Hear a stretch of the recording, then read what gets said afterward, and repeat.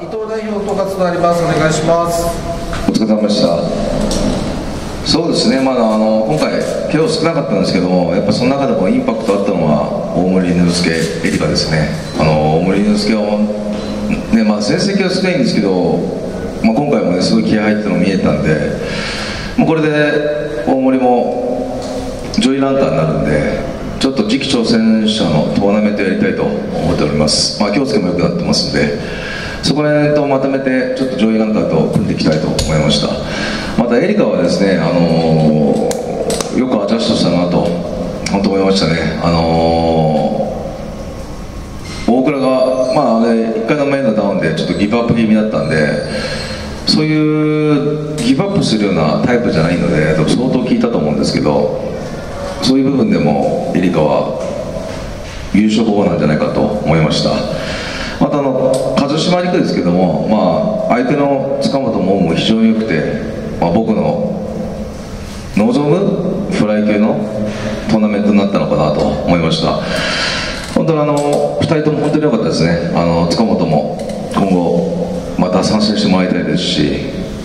あの輝くと思います。またあの梶島もね重力の強さを見せたので、まあ、ちょっとメインのね、あの空流とたまる時が1ラウンドで終わってしまったんでこれはやっぱり決着はついてないんでちょっとドクターに聞いたら23ヶ月試合をするにはかかると言ってたんででちょっと王座決定戦を伸ばしてこれ両者どっちが上がっても納得しないと思うんですね。まあお客様納得しないと思うし一回再戦を組んでから王座決定戦に持っていきたいと思っております。はい。はい。ご質問ありましたらお願いします。えー、っと女子のもう一つの準決勝で勝った赤井選手はいかがでした？まあそうですね。もう僕の中ではね、まあ、29対29のドローかなと思ったんですけども、まあ、僕もジャッジペーパーまだ見てないんですけども、まあ、取り方によっては最終ラウンド、ね、あの最終ラスト20秒ぐらいですか、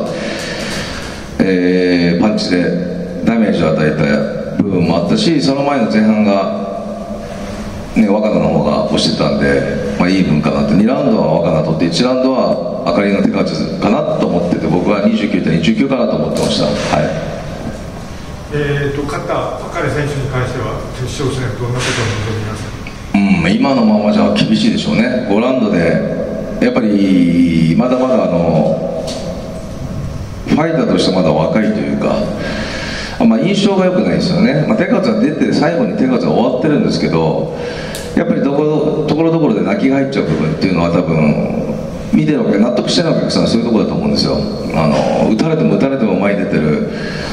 え、若菜の方を見てしまうのは事実なんですけども手数最終的に手数出したのはあかりだったんで、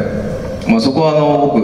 は特にそのジャッジに関して異論はないんですけどもそういうフィジカルの部分を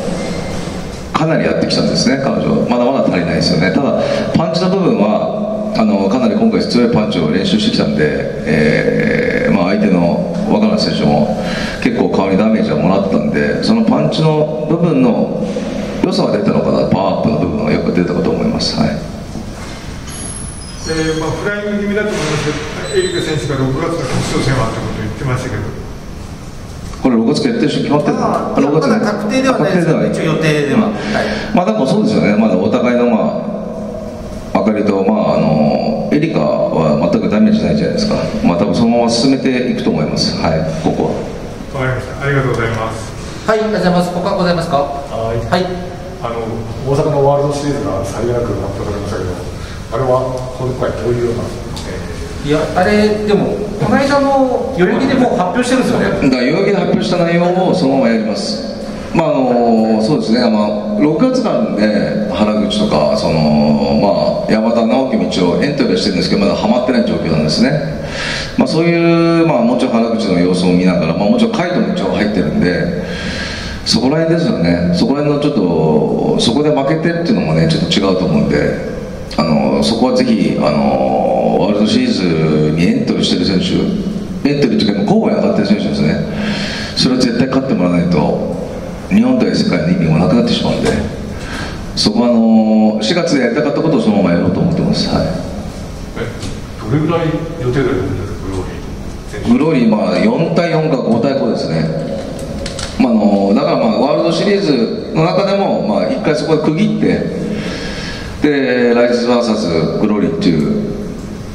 大会にシフトまあお客さん一緒ですよ。